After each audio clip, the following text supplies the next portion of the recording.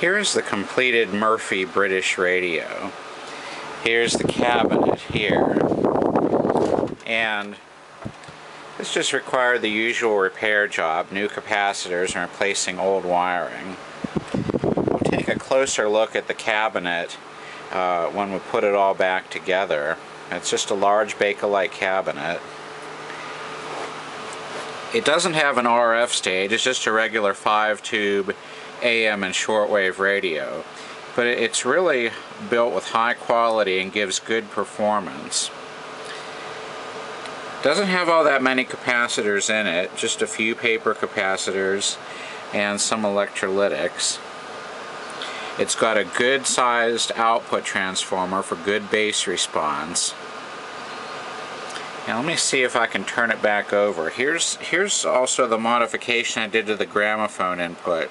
Uh, being British, it calls this the gramophone uh, input rather than phonograph. But I put an American type phono jack on here and a capacitor to prevent high voltage from coming back into the device if there would be a short in a tube or to prevent DC from an external device from upsetting the bias on the uh, audio preamplifier tube. Let's see if I can turn it over here. And we can take a look at the top of it. Let me sort of line it up here so it'll sit down on the desk.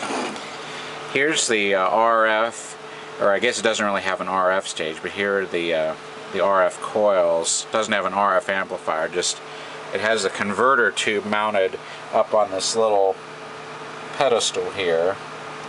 And these are British uh, Mazda valves.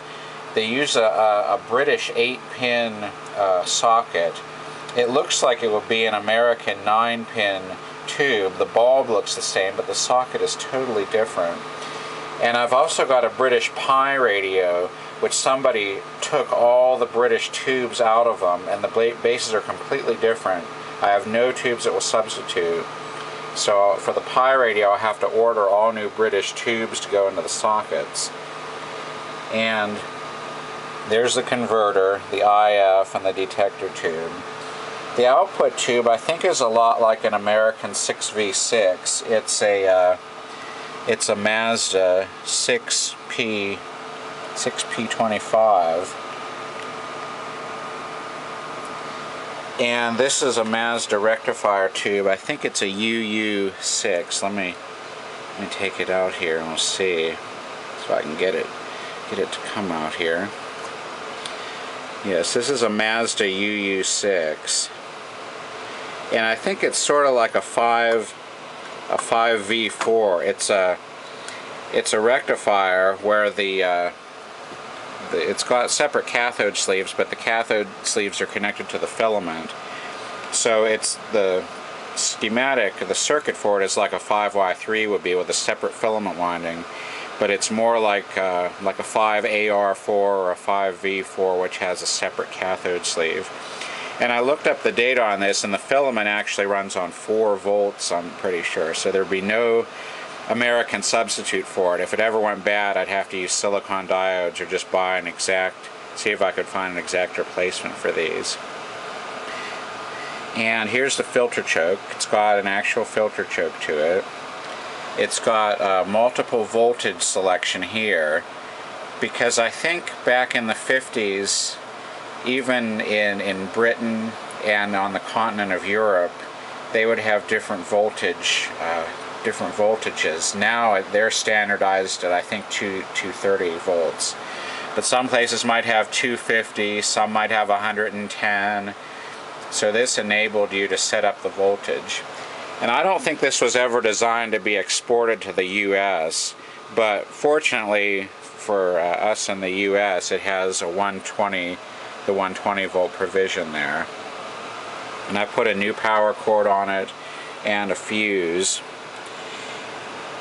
and I had to restring the dial cord. What do you use this really big dial pointer on there, and the dial pointer is actually missing. So I'm not, I, I, guess it just won't have that, that functionality. But here's the, uh, I did restring it so that the tuning shaft will work, and maybe I can rig up some kind of a pointer to go on there. I've got the speaker output hooked up to the uh, got the speaker output hooked up. Let me see if I can plug in the uh, the aerial connection here. Let's see here. I think that's I think that's it. And I'll plug it in here. Plug in the got the new power cord on it.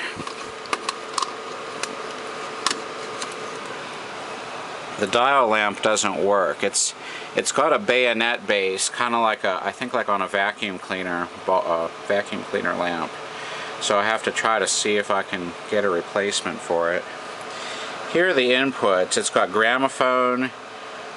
This control controls volume or controls tone and mode and power. So the gramophone inputs are G1, G2, and G3 ranging from minimum treble to maximum treble and then the radio inputs are R1, R2 and R3 so I hear a little bit of noise. Let's let's see here. Medium is medium wave which is American AM uh, broadcast band and then the others are for short waves all sorts of helpful advice.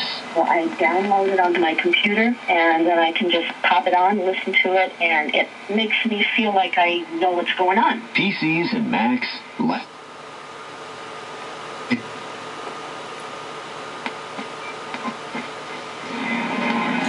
I don't have a very good antenna on this. Let me see if I can hook up the antenna lead to a we'll hook it up to a, an, another piece of wire.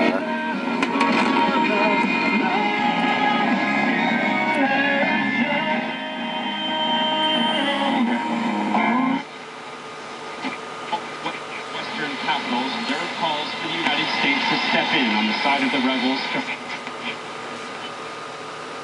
And I gotta tell you, from the standpoint of the fans, I don't know that it's going to jump out and that you're going to notice anything necessarily right Here's away. Here's the tone control. Um, you know, in most cases, other than Ed Hockley, you know, how minimum treble to maximum necessarily recognize and know and, and, really even take note of.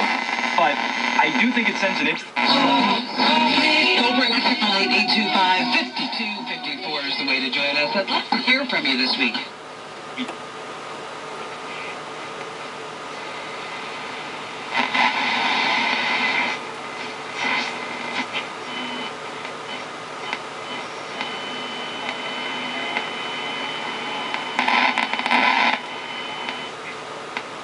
Having ice freeze does not compromise player safety. Listen very carefully to the commissioner's answer. We've been working with you. So we're getting pretty good performance from it. I'll now put it back into the cabinet and we can demonstrate the auxiliary input there as well.